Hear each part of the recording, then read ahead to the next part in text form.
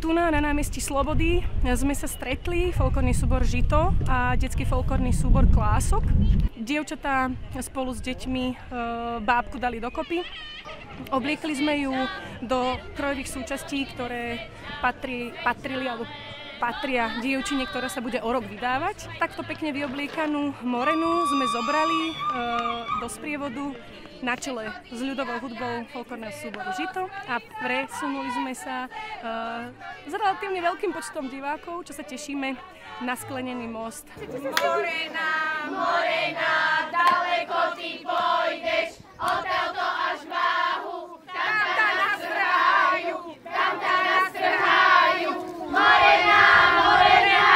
na tomto našom kolonadovom moste sme si ešte s Morenou zatancovali, rozlúčili sme sa s ňou a keď sme ju, tak povediac, nastrhali, strhli sme z nej to pekné oblečenie, lebo to sa nikdy nehádzalo do vody, to sa vždy šanovalo.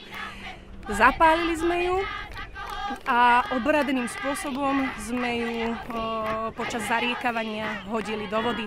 Potom sme sa už všetci svorne začali tešiť na leto, zobrali sme pekne zakvitnutú halúsku zo slivky a presunuli sme sa zase s ľudovou hudbou naspäť na námestie, kde sme si rozdali halúsky z krásne zakvitnutého zlatého dažďa a privítali sme nové leto zase piesňami a spevom.